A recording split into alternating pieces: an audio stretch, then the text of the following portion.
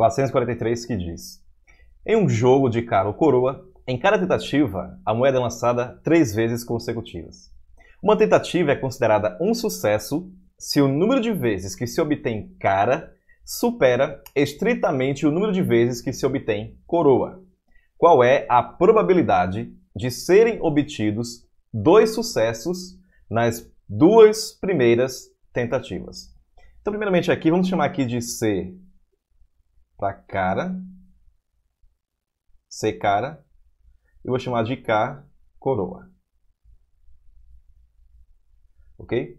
Então, para a gente poder visualizar isso aqui melhor, eu vou criar aqui o diagrama é, de árvore que relaciona esses três lançamentos aí, né? esses três lançamentos dessa moeda aí. Que são três lançamentos consecutivos. Então, vamos lá.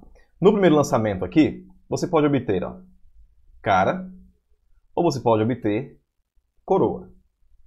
No segundo lançamento agora, a mesma coisa. Você pode obter cara ou você pode obter coroa. Né? Se sair cara no primeiro lançamento, então você pode obter cara no segundo lançamento ou coroa no segundo lançamento. E se obtém coroa no primeiro lançamento, você pode obter cara no segundo lançamento ou você pode obter coroa no segundo lançamento.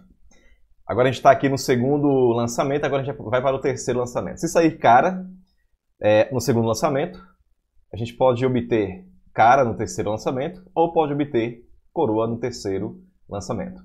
Se obter coroa no segundo lançamento, você pode obter cara no terceiro lançamento ou coroa no terceiro lançamento. E assim por diante. Ó.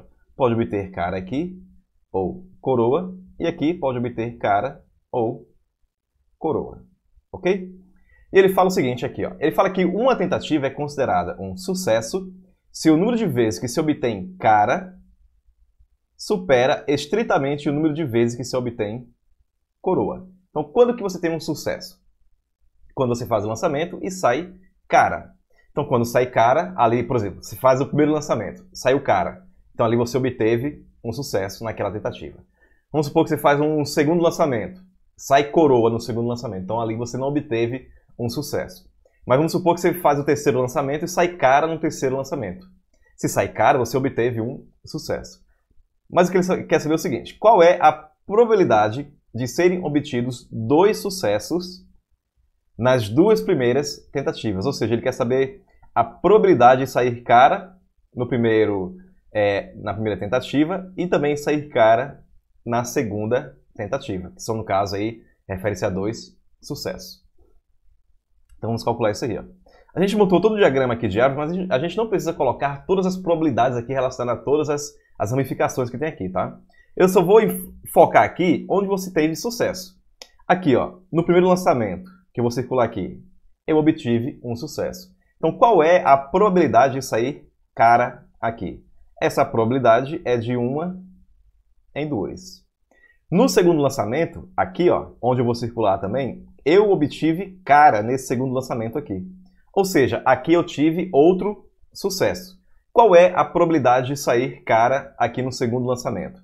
Também é de uma em duas, certo? Pronto, agora a gente já tem aqui a... os dois sucessos nas duas primeiras tentativas. Então, pelo teorema ali da multiplicação, né, que a gente já viu aí anteriormente, é só calcular aqui a probabilidade da seguinte forma. É só multiplicar essas duas probabilidades. 1 sobre 2 vezes 1 sobre 2. Então, a probabilidade de você obter né, dois sucessos nas duas primeiras tentativas é de 1 quarto. Essa é a resposta. 1 sobre 4. Ok? Então é isso. Até o próximo vídeo.